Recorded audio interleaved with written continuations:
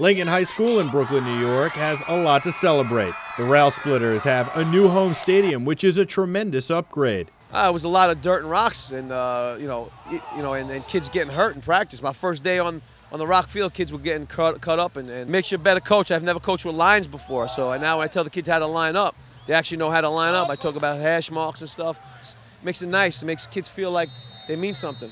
And the Rail Splitters opened their new stadium with an impressive win for Staten Island's Port Richmond Raiders. Our defense came out. We stopped them three and out the second half, and our offense took over. And I think our quarterback did a great job tonight. He not only did run the ball, uh, he didn't make any mistakes, no interceptions, and, and he threw. He came up with a key pass.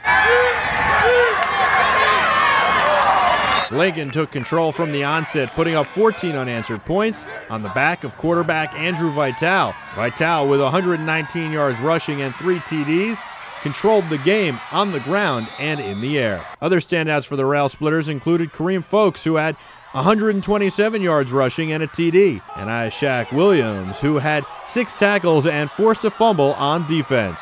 The Raiders had a standout player on their side. Number 24, Lewis Rice, tore up the field. The Rail Splitters dedicated this game and they say the season to one of their teammates who passed away in the spring. Number 53, Manny, Ishaq Williams' brother, he was killed in springtime. It's awful. It's awful. He, he was always with us through practice and, and like even during the off season, we, we always thought about, about him. We got a poster in the hallway of him, and uh, he's just always our motivation. Four, five, six,